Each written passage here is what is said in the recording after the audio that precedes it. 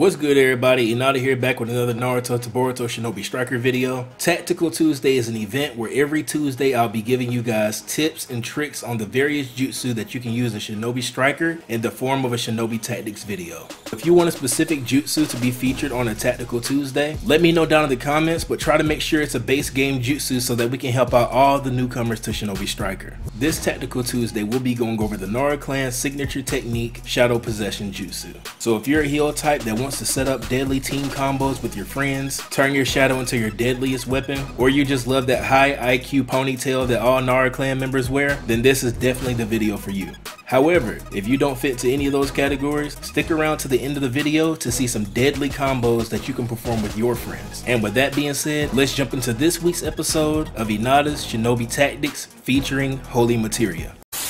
The Shadow Possession Jutsu is a heal type technique that you learn from Shikamaru at training rank 1. It has a 10 second cooldown duration. The Shadow Possession Jutsu's description reads, This jutsu restricts the enemy's movements and reset the ninjutsu cooldown time. Perform Shadow Neck Binding Jutsu with additional actions. Deals damage and lowers the target's movement speed. When you capture your target, you and the target are stunned in place for 5 to 6 seconds and their ninjutsu are instantly reset. So be careful that you don't capture a clone because the Shadow Possession Jutsu makes you and your target unable to move. Well, actually, Inada, if we're to stay true to the manga and anime, since you can actually possess your target, this isn't actually the shadow possession jutsu that Shikamaru uses, it's the shadow binding jutsu of his ancestors.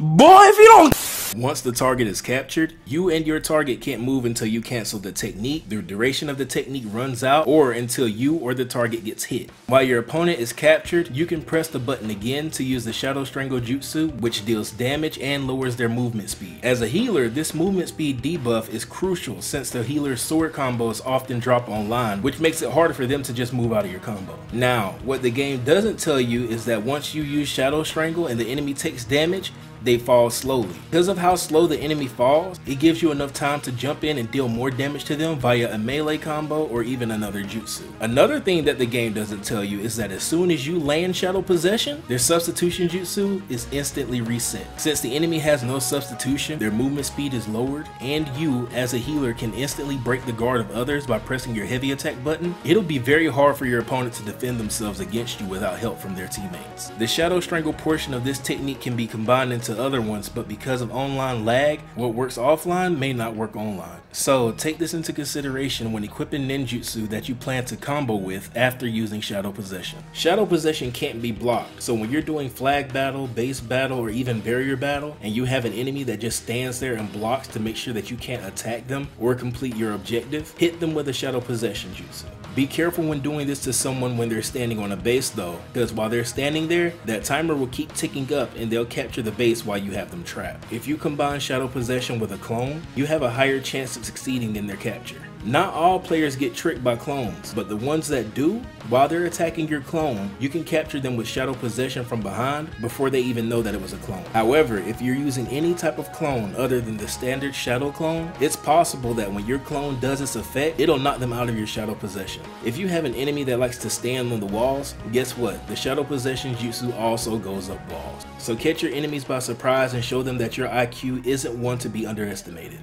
Before we begin, I just want to give a huge shout out to Holy Materia for collabing with me on this video. If you don't know who Holy Materia is, he's a fellow Shinobi Striker content creator who streams and brings tips, tutorials, and peaceful vibes to the Shinobi Striker community. I'll be leaving a link to his channel in the description. Go check out Holy Materia and subscribe to his channel and tell him congratulations on getting 500 subs. I also want to shout out Happy and Hero Tommy for helping us get some of the footage when Holy Materia and I were pulling off our team combos.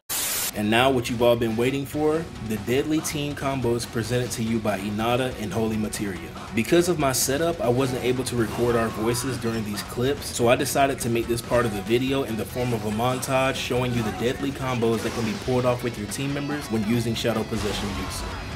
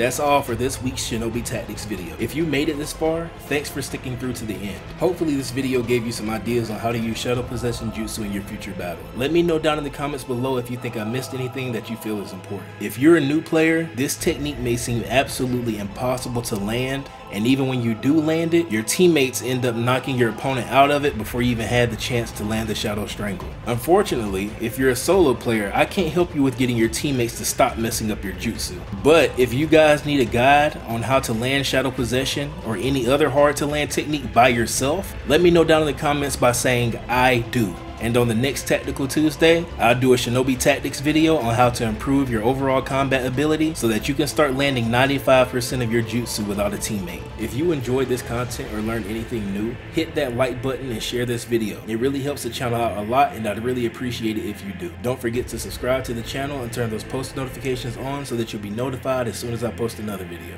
This is Inada, thanks for watching, and until the next video, I'm out y'all.